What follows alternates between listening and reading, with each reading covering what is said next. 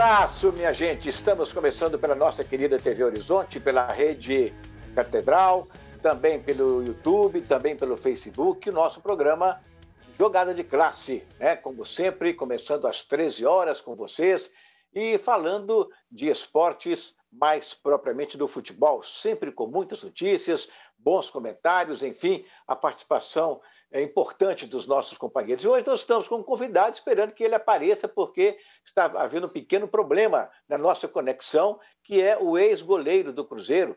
Os mais antigos, naturalmente, conhecem muito mais do que os mais jovens. Isso é coisa mais da época do nosso Ronan Oliveira.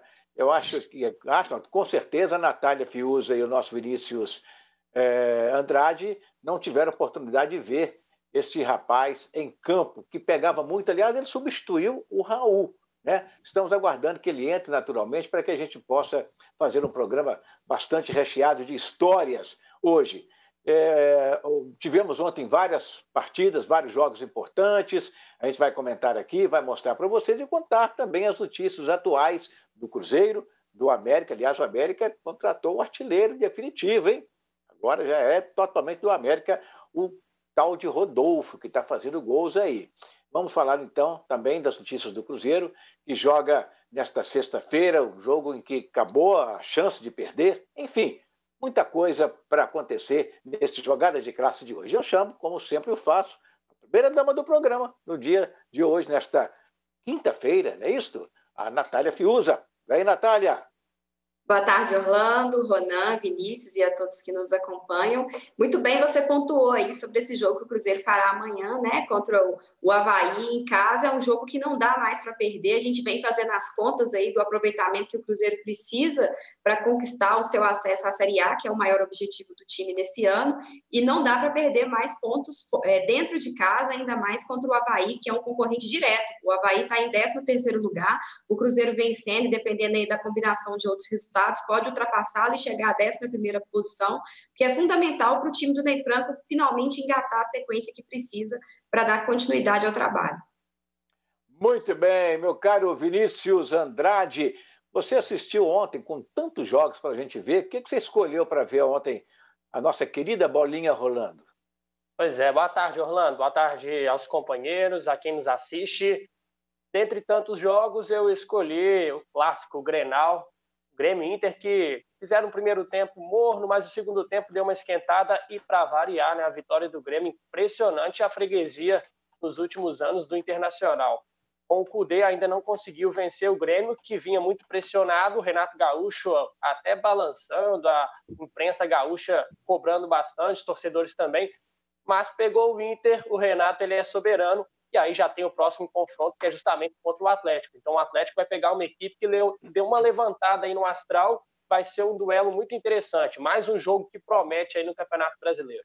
Pois é, e o nosso Luiz Antônio já está aí, vamos chamá-lo, vamos ver a figura do Luiz Antônio, que a torcida do Cruzeiro está numa expectativa muito grande. Eu fiz chamadas no Twitter, fiz chamadas no Facebook, no nosso programa, então a torcida do Cruzeiro está parada agora querendo ver o Luiz Antônio de hoje, ele que fez muito sucesso no Cruzeiro, era um galã na época, né? Tem foto mostrar, mas não mudou muito, não.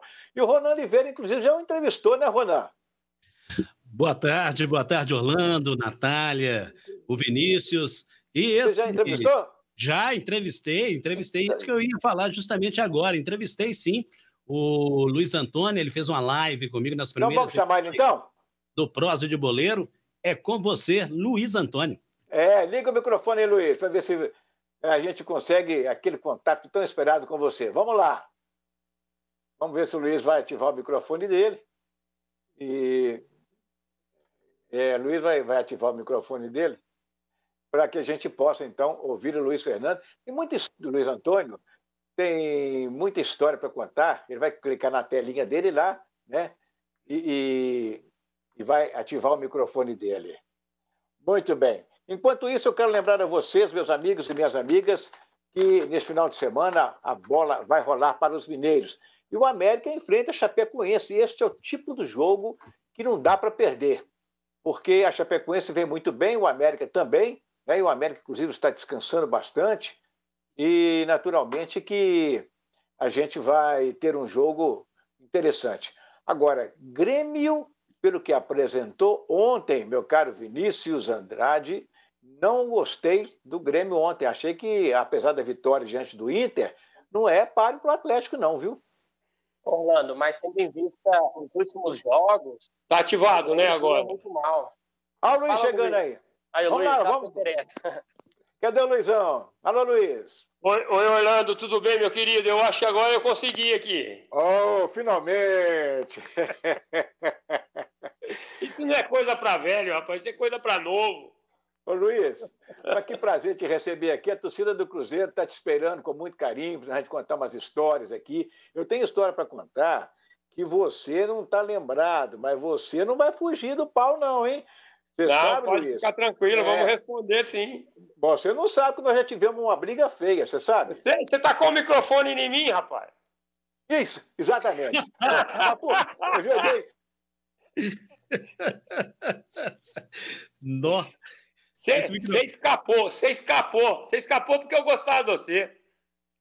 Deu, é, deu uma paralisada ali do nosso Orlando Augusto. Luiz Antônio, que honra participar contigo aqui do Jogada de Classe. Está conosco aqui a nossa Natália Fiuza e também o Vinícius Andrade, compondo aqui a nossa bancada. Daqui a pouquinho o Orlando Augusto volta, né? Retorna novamente, já retornou aí, mas tem dois Orlando Augustos, né? Um ali na pose ali, o outro aqui, né? Que honra recebê-lo, amigo. Que coisa boa. É, esse microfone aí doeu, viu? Porque você lembra disso até hoje. é, ele, ele tacou de longe, ele deu sorte. Puxa vida, cara. Agora você, você imagina, hein? Um goleiro da altura desse cara, com o corpo que ele tinha. E um repórterzinho lá, pequenininho, brigando. E ele entrando em campo, cara. Agora você imagina. Imagina, ele entrando em campo. Meu Por Deus. Que, Qual foi o motivo da microfonada? É, o seguinte, não sei se eu estou sendo ouvido aí, gente. Com certeza. Estou ouvindo. ouvindo. Ah, ok. Legal. É, é, o seguinte, o Luiz Antônio estava subindo um jogo muito importante do Cruzeiro contra o Palmeiras. Ele estava subindo, tinha aquelas escadarias que davam acesso né, ao gramado. Então Luiz Antônio vinha na frente com a, com a bola, o goleiro sempre entra com a bola, e ao passar por mim, eu fiz uma crítica da, camisa, da camisa dele, porque a camisa dele era uma camisa muito parecida com a camisa do goleiro do Palmeiras, meio esverdeada. Aí eu falei assim: bom, o goleiro do Cruzeiro está entrando com a camisa aqui, que ele vai voltar com essa camisa. Essa camisa não é uma camisa boa para enfrentar o Palmeiras, porque vai confundir. Ele ouviu a, a crítica, que não era uma crítica, era uma, uma colocação. Ele pegou a bola, ele virou para mim, pegou a bola e deu um chute na bola na minha direção, que se eu não tiro a cabeça fora, minha cabeça estava no Mineirão enterrada até hoje. Aí eu peguei meu microfone e joguei nele também, uai. Mas graças a Deus, só ficou nisso. Agora, Luiz, agora nós brigamos juntos, nós brigamos juntos, e aí eu te defendi, dei cadeirada, levei cadeirada, foi no jogo lá contra o Vila Nova, lá no Bonfim, Sim, lá em Nova lá Lima. Você lembra dessa né? briga? Lá em Nova Lima. Nossa, pau quebrou aquele dia. Verdade, verdade. Mas, Luiz, é, vamos contar aqui. Se eu falar para o pessoal a sua carreira no Cruzeiro, Pode falar, é pode é? falar. Pode falar. falar, Luiz. É aquela. Bom, aquela, a carreira do Luiz, meus amigos, ela. O Cruzeiro. Né? Lá em Nova Lima. Por causa de quê? Por causa do Chiquito, lateral direito que tinha no Cruzeiro, lembra? Ah, é o Chiquito, é. Deu. É, ele, ele deu uma entrada no, no, no, jogador do Vila e acabou tumultuando, ele foi expulso e acabou tendo uma briga generalizada, né? Mas essas brigas generalizadas é. não sobrava para mim, né? Porque todo mundo ia embora, ficava eu na briga. É mais forte, né? Ô, Luiz, vamos lá então para deixar sua vontade com nossos companheiros. Só lembrando que você jogou no Cruzeiro de 77 a 82, ganhou títulos lá, você foi campeão em 77 e em 85, melhor dizendo, não 82. Depois, três anos depois, você encerrou a sua carreira. Agora, você foi o substituto do Raul no Cruzeiro, para começar as perguntas? É, o que aconteceu? Eu fui realmente para substituir o Raul. O Raul ainda estava no Cruzeiro quando eu assumi a condição de titular, né? Eu entrei no, no, no, no time num campeonato brasileiro é, é, perante a Ponte Preta, no Mineirão, onde nós tivemos a felicidade de ganharmos de 1 a 0. O Dario era o centroavante da, da Ponte né, nessa ocasião. E eu fui um dos melhores jogadores em campo nessa partida. Aí depois nós fomos jogar em Campos contra o Goitacás, depois jogamos contra o Corinthians, contra o Bahia, contra o Vasco. Eu sei que eu fiz seis jogos até o Raul é, recuperar a contusão que ele havia sofrido, certo? E nesses seis jogos eu tomei um gol. E eu realmente fui muito bem nesses, nesses jogos. E quando o Raul voltou, é, eu já voltei como titular na realidade, né? Aí o Raul pediu para ser vendido. E posteriormente apareceu o Flamengo para ele ir embora. O Felício fez uma proposta é, no Júnior Brasília e no Jorge Luiz. E o Flamengo pediu o Raul, pediu o Eli Carlos e o Tião na época. Ah, entendi.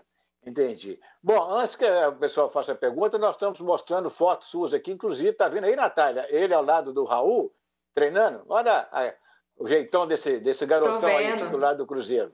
Dois é. goleiros com porte físico que chama atenção, né? Ficaram marcados aí. É, loiros, cabeludos, né? é, na época isso era moda. É, né, né, eu vou te contar, era um fã-clube. A mulherada dava em cima, que era uma coisa horrorosa, viu? O Luiz Antônio não era fácil, não, viu?